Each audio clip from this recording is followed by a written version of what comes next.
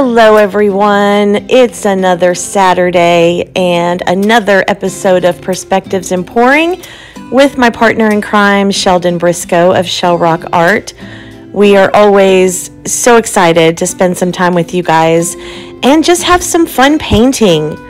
Now, I will be honest, the past couple of weeks have been very long and very stressful at work. Um, I do have a day gig and uh, I had a bunch of paint left over, different colors. I had several ColourArte pigments left over, a lot of acrylic paint left over um, that were all really bright, colorful, springy colors. And I wanted to do a pour, but I didn't want to have to think about it. That's how tired I have been. So I decided to take the easy way out and what I did was made sure that all of those paints were around the same consistency, which was pretty easy because they were pretty thick to start with. And uh, decided to just kind of pour willy nilly. So, this first piece that I'm doing, um, you saw that I, I layered two cups. One was more of the warm colors yellows, reds, pinks, oranges and the other cup was the cool colors, the blues and the greens and the purples. Um, and like I said, just kind of poured willy nilly. I've never done this before, but I kind of like it.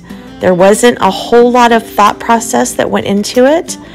Um, so we are going to tilt this thing out and see what we can get. Um, and then I will do another piece because I've got more paint left over.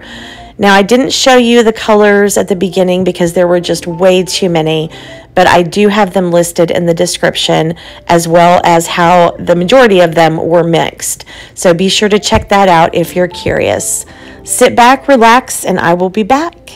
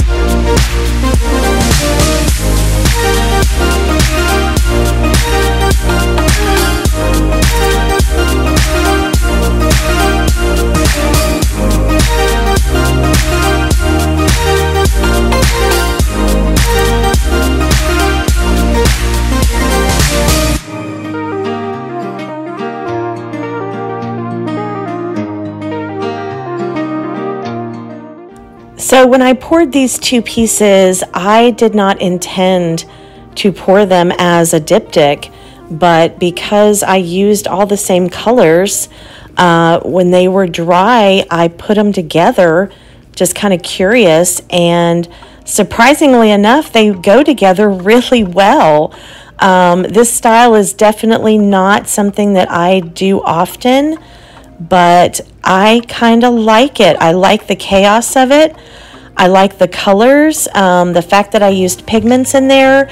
They're transparent. You can see colors underneath them, which gives the pieces a really cool 3D effect.